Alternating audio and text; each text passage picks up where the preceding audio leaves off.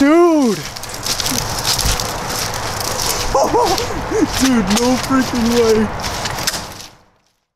Alrighty guys, so that was a little bit of chaos because he died right in that puddle there. So he was getting us soaked. He's got a rope on him. We are uh, gonna get him dried off and get some cool uh, shots, of course. He's got some nice spurs too. But I wanna take a quick minute to show you what our setup looked like from where I shot him.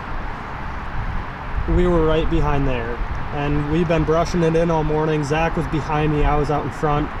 We should have the GoPro still rolling. The hen walked through like probably 10 yards, maybe. 10 yards, yeah. And she got a little uneasy, but I think it was just brushed in well enough.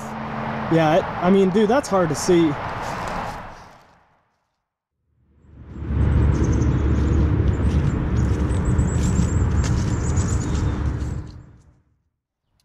Okay guys, here's a look at that big old Tom. I think this is my biggest one to date. We have not officially measured him or anything. Um, I'm guessing he's probably touching 11 inches on the beard, maybe 10 and a half. And I think he's over an inch with the spurs. He's got some pretty good hooks on him too. Um, big bird, definitely heavy and older. Um, so I'm super stoked. Um, this morning, early on, we actually went to a different piece, hunted that with no luck. We went over to my grandparents' house because I knew this big guy was in there. Um, but it was a little bit unique because he didn't roost on the property. He roosted like two neighbors over. And then throughout the day, random times, he would come over and like pick away and just walk over my grandpa's property. Pretty much went exactly how we had it planned. He uh, came in with a hen. I think it was at like 10, 10 maybe, right after 10 o'clock. We got in there at like 8.45. Zach was behind me, I was up front.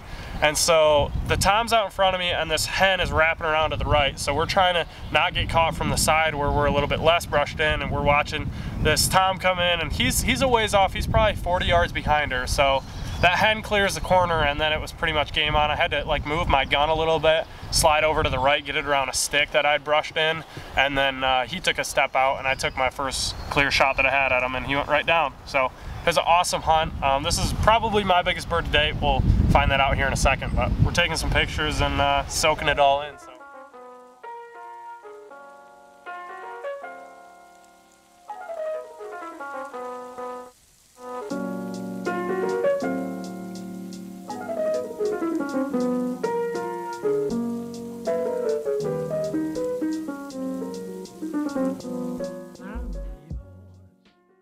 Okay guys, just got the beard off. We're gonna get a quick measurement on this. I'm guessing right around 10 to 11.